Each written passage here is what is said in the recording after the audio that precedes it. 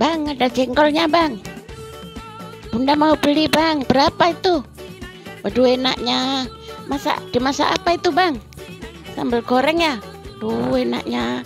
Berapa, Bang, jengkolnya, Bang? Oh, sepuluh ribu tiga. Ya, Bunda beli ya, Bang. Beli dua puluh ribu.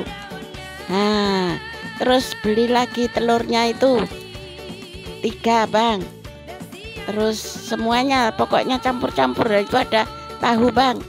Tahu juga sepuluh ribu. Terus ada apa lagi tuh bang? Aduh enaknya. Nggak petis ya bang? Aduh lama sekali bunda ndak makan jeng